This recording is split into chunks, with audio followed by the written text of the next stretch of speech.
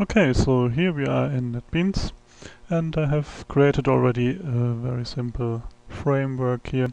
It's an app called, an application called Event Sample App as shown on the slides before and within that there's really just one class so far. This is the main class, see here, it's the main class. Um, it's called Event Sample App um, and occurs in a package also called event sample app. And in line with what you have learned already, um, I'm creating here a simple, a simple JFrame called frame. It's a new JFrame with the title flow layout. Remember that constructor, we can just hand over a string and that would then be the title of the JFrame.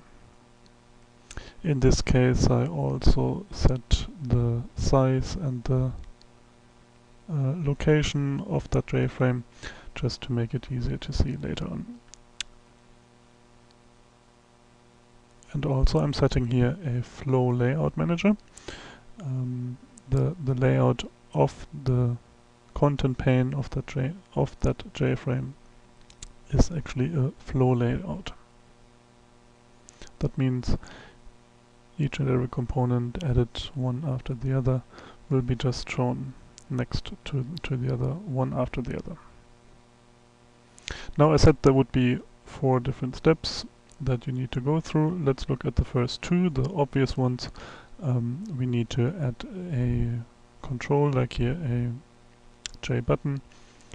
This one here is called my button. We uh, first of all need to create it and then we actually add it here to the frame the my button object is added to the frame using the flow layout manager and the frame will be set visible. Let's try what happens if we run this as it is. The frame comes up,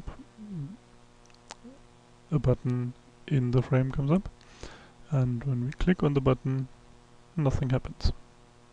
Okay, so let's see how can we get the button to work.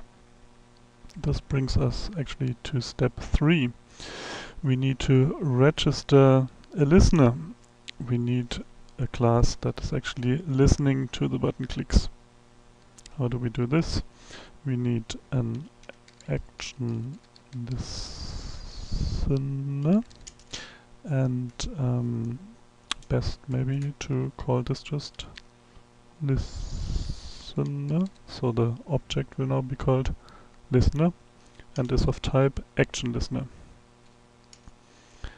And for this we create a new instance of my action listener.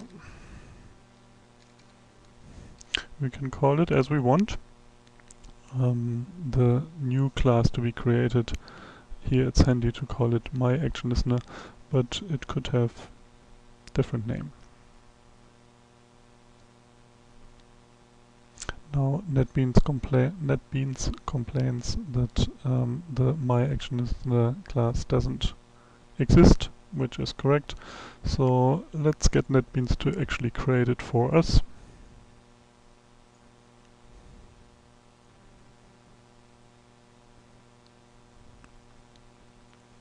and um, this is actually what happens here.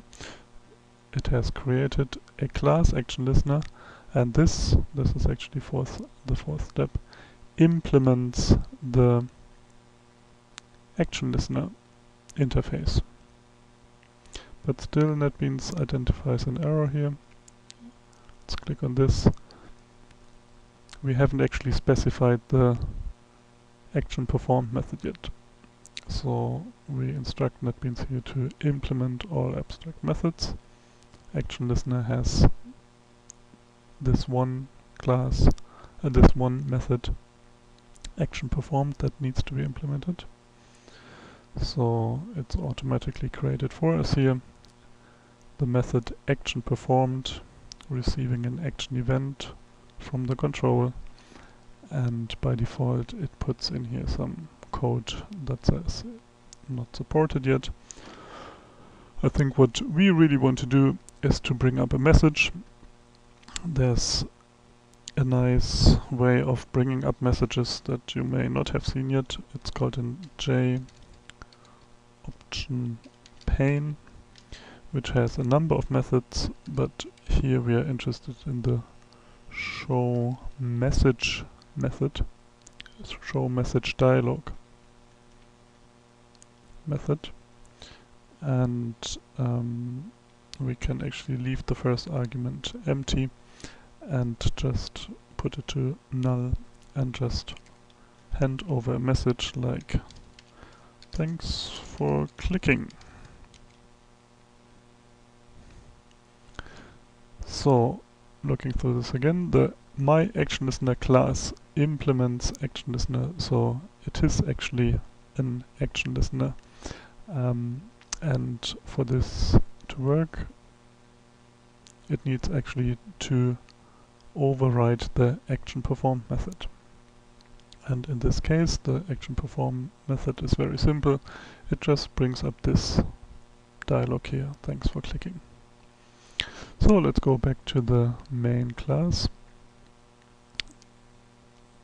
That seems all to work here. What we still need to do is we need to register the, the listener. So the button doesn't know yet that the event, the action event created needs to be sent to the listener. And we can do this by just my button. The my button has an add listener method built in. And of course we use the listener.